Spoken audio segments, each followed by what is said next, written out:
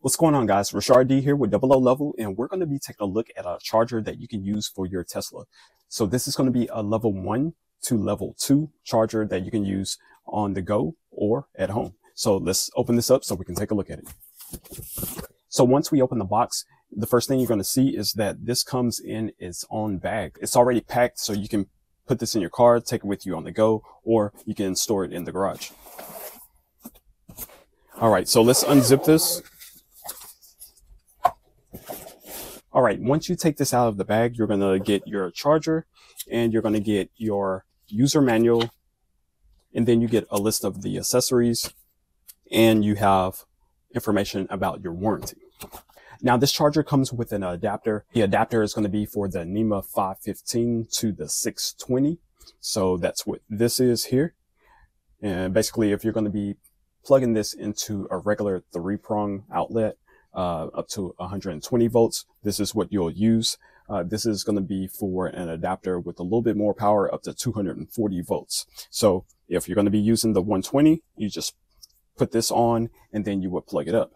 Now your power unit here is going to be pretty straightforward. It's nice and small and compact, so you can take this on the go.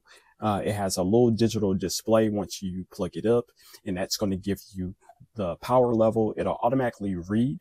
You can also connect this to the app, and that is where you can keep track of your charging. You can also uh, put it on a timer. You can also adjust the current level.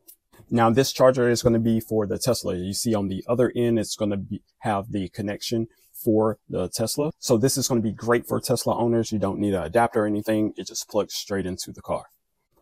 Now this is also good for any weather condition. You can use this outside or inside. So it doesn't matter what the condition is. It will hold up.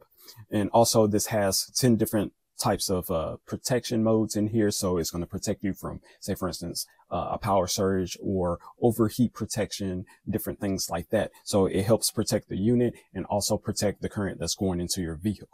Now, one cool thing about this is that you could adjust the current. So at your lowest, it's going to be um, 8 amps. So that's going to get you about 6 miles to the hour, and you can adjust it all the way up to 16 amps, which is going to get you 12 miles to the hour. And if your vehicle is not close by the plug, uh, it helps because this has a 25 foot cable. So that way you should be able to reach your outlet with no problem.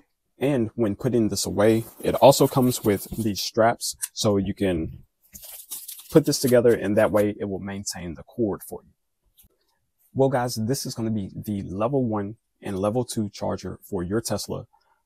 This is something that I will most definitely recommend if you're a first time buyer or you have had one and you haven't purchased a charger, this is going to be something that's perfect that you can use at home or on the go.